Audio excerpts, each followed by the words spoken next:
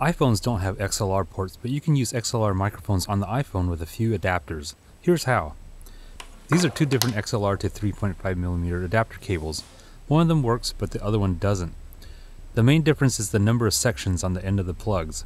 The one on the left is a mono plug, and the one on the right is a stereo plug.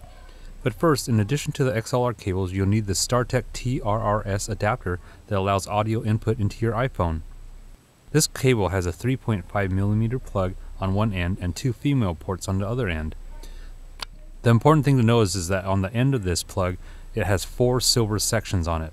If yours only has three, then it's the wrong kind of adapter. The other ends allow you to plug in a headphone and microphone. So in this example, I want to plug the mono XLR adapter cable into the side that has the microphone icon on it. This is the only cable that will work.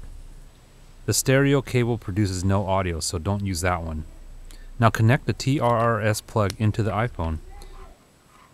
Make sure the mic is connected too. And here's what the setup looks like. For this test, I'm using an app called Recorder Plus. I like this app because I can tell if the iPhone is using the internal mic or an external mic with this indicator. To show you that this works, I'll record something from the mic.